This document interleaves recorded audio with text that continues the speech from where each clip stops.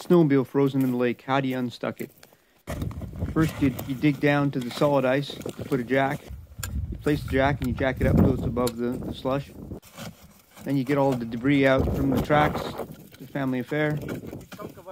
Then you reverse it and forward it slowly, not too much power, until the track frees itself. Back and forth, back and forth. And finally, it'll come free. And you go get branches and put it under the skidoo so it doesn't sink back down to the water.